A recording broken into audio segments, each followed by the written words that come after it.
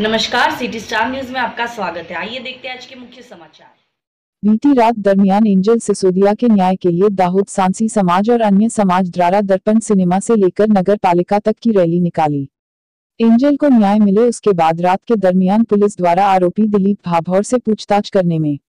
आरोपी ने कबूला आरोपी के घर में ही हत्या करके उसकी लाश दफना हुई है, जिससे आज सुबह खोदकाम चालू जिसमें नमदाबेन की लाश मिली है।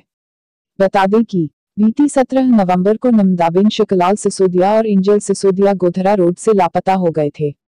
उसके पाँच दिन के बाद एंजल सिसोदिया की लाश लिमखेड़ा तालुका की हड़क नदी से मिली, जिसके चलते सांसी समाज में आक्रोश देखा गया था। इस कारण रैली का आयोजन किया गया और इंजल के गुनहगार जल्द से जल्द पकड़े जाएँ। पुलिस एक्शन ले समाज के लोगों का ऐसा कहना था।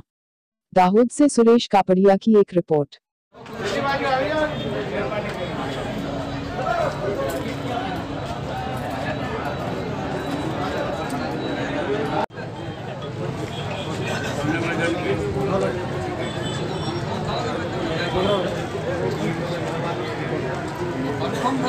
બધું